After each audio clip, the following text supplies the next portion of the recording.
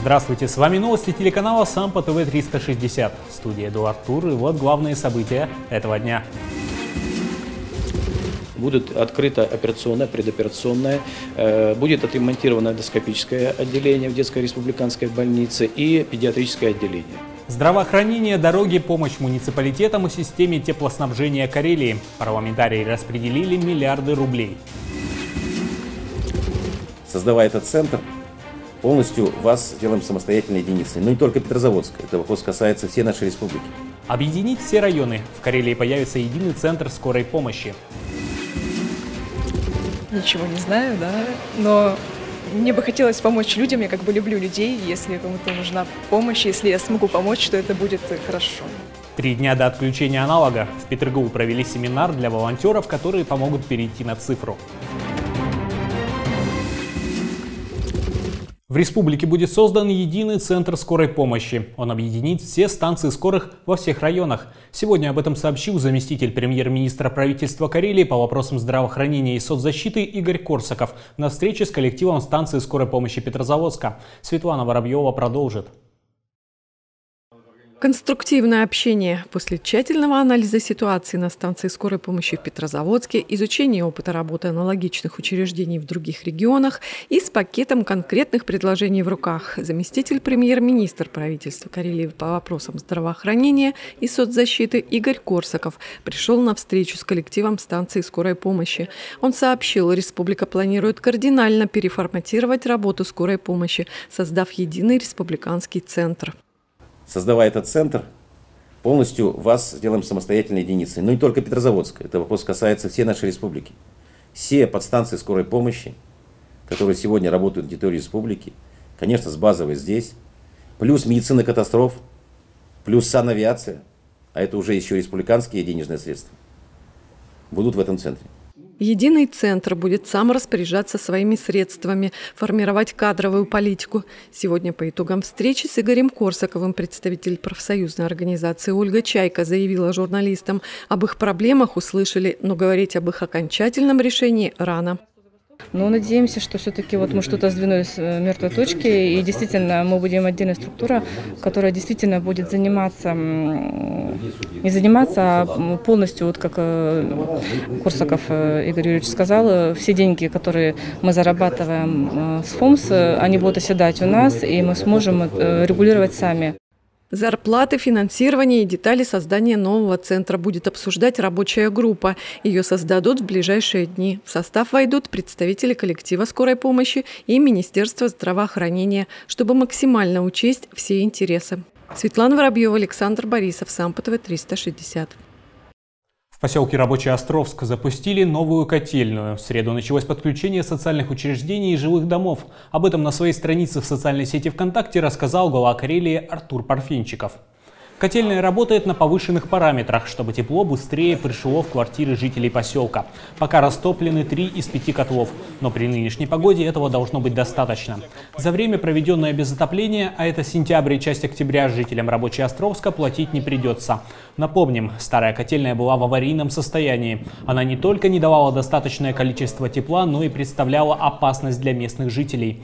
К работам приступили лишь в августе. Начать реконструкцию раньше не позволяли сроки передачи имущества от старого собственника к новому. О теплоснабжении в Карелии говорили сегодня и на заседании Законодательного собрания республики. Темы отопительного сезона не было в повестке, но депутаты вынесли ее на обсуждение. Говорили о проблемных районах и одной из самых болевых точек – долгов за топливо. Тему продолжит Анжела Маркевич.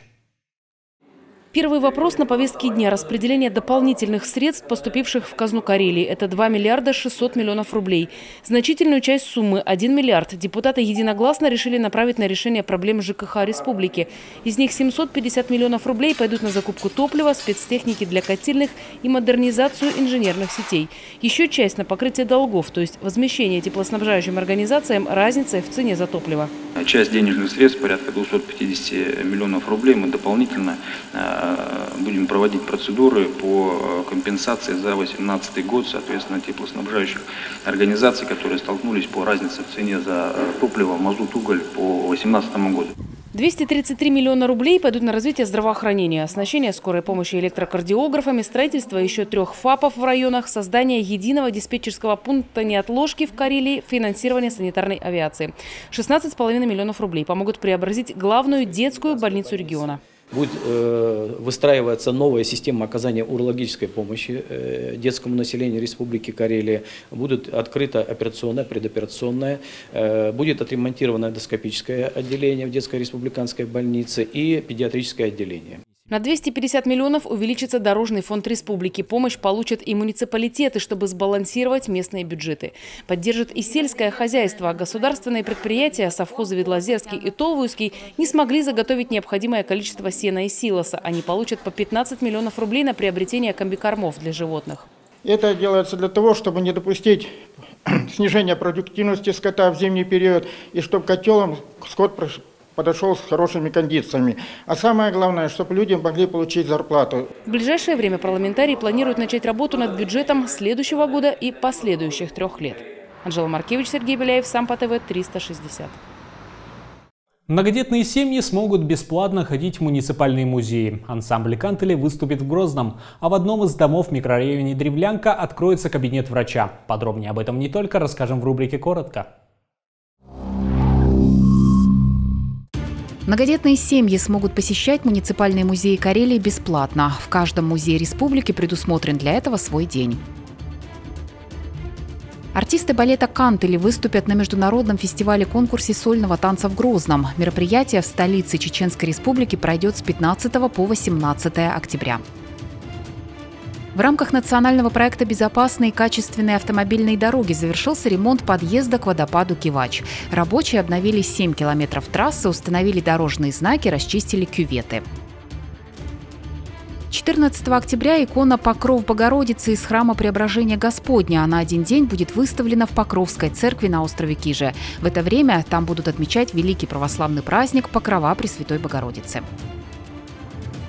До конца года в одном из домов жилого комплекса «Скандинавия» на Древлянке откроется кабинет врача общей практики. Он станет подразделением городской поликлиники номер один. 2 ноября на территории горного парка Рускеала откроется музей деревянной скульптуры «Обитель ангелов». В день открытия несколько музыкальных произведений исполнят на рояле и скрипке артисты Мариинского театра Юлия Грехова и Андрей Покатов. 14 октября Карелия перейдет на цифровое телевещание. Для того, чтобы настроить цифру, смогли все в республике организовали обучение добровольцев. Они помогут жителям Карелии перейти на новый формат. Один из обучающих семинаров прошел в Петрозаводском государственном университете. Карелия – первый регион России, который проводит подобную акцию. С начала марта на горячую линию по цифре поступило около 1100 обращений, и большую часть успели обработать. В эту субботу, 12 октября, добровольцы помогут настроить цифровое ТВ тем жителям Петрозаводска, на чьи обращения пока не отреагировали. В университете волонтерам рассказали, как правильно подключить и настроить приставку. Речь идет о настройке антенн, о подключении цифровых приставок, ресиверов. Вот. И Планируем порядка 300 мы участников этого мероприятия. Это и э, работники э, органов управления власти, и э, работники бюджетной сферы, и студенты, и работники предприятий. Мы вот выйдем 12 числа на такую акцию однодневную по заявкам населения, жителей Петрозаводска. Ожидается, что в субботнике примут участие не только опытные волонтеры по цифре, но и новички. Ничего не знаю, да, но мне бы хотелось помочь людям, я как бы люблю людей, если кому-то нужна помощь, если я смогу помочь, то это будет хорошо. Напомним, переход на цифру в Карелии состоится 14 октября. Но и после этой даты продолжит работу региональная горячая линия по цифре. Все, кто столкнулся с трудностями при переходе на новый формат вещания, смогут позвонить по телефону 8 800 233 60 и получить помощь. Алексей Неживенок, Сергей Беляев, Сам ПТВ 360. Молодые мамы Карелии осваивают новые профессии, находясь в отпуске по уходу за ребенком. С января по сентябрь этого года обучение прошли 153 женщины. Как попасть на бесплатные курсы и какие направления сейчас наиболее востребованы, расскажет Юлия Степанова. Сегодня в компьютерном классе Центра обучения практическое занятие по предмету 1С управления персоналом в рамках курса «Современное кадровое дело производства». Почти все здесь молодые мамы. Курс для них сделали сокращенным – 5 недель по 4 часа в день. Одна из студенток, Наталья Муренко, до декретного отпуска работала бухгалтером. Я работаю бухгалтером, и так как эти профессии смежны, мне кадровое дело требуется периодически. То есть это приемы, это увольнение, в любом случае я сталкиваюсь. Не всегда на работе вот есть в организациях кадровые сотрудники. То есть организация небольшая, а кадровое дело производства может вести бухгалтер. В принципе, мне это нужно. Вот я пошла учиться. Может быть, я останусь на прежней работе. Там, может быть, я найду какую-то другую работу. В любом случае, мне это пригодится. Другая ученица из группы, тоже Наталья, в отличие от тезки, решила кардинально сменить сферу деятельности. До отпуска по уходу за ребенком работала в детском саду воспитателем. Ну, во-первых, э, чтобы вернуться обратно в детский сад, э, нужно проходить опять-таки курсы, потому что за три года многое сбывается. Штат сотрудников уже набран. Вот. Э, ребенка моего взяли в другой детский сад, поэтому совмещать работу с дальнейшим материнством очень сложно, поэтому решила найти другую работу. Определиться с выбором новой профессии можно с помощью сайта Управления труда и занятости республики. На сегодняшний день размещенный на сайте перечень профессий для переподготовки и повышения квалификации включает 68 специальностей, и это не предел. Перечень не является исчерпывающим, да, то есть сами женщины, сами работодатели, сам рынок труда нам подсказывает, а, каким образом, да, то есть дополнять этот перечень профессий, да, то есть работодатели обращаются с заявками, да, то есть предлагают какие-то варианты, сами женщины интересуются, спрашивают, а можно ли, да, то есть в индивидуальном порядке мы этот перечень расширяем, да, то есть он как бы постоянно увеличивается планируется. В 2019 году молодые мамы Карелии уже освоили профессии повара, кондитера, мастера маникюра, кладовщика-логиста, горничной и многие другие. Всего обучение до конца года должны пройти не менее 205 женщин. В этом году их профподготовка финансируется из бюджета республики в рамках реализации национального проекта «Демография». В 2020 году курсы будут проходить уже за счет средств федерального бюджета. Воспользоваться этой госуслугой смогут не только мамы в декрете, но также безработные женщины, воспитывающие ребенка до школьного возраста возраста. Юлия Степанова, Александр Борисов, Сам по ТВ 360. Это все новости на сегодня. С вами был Эдуард Тур. До встречи в эфире.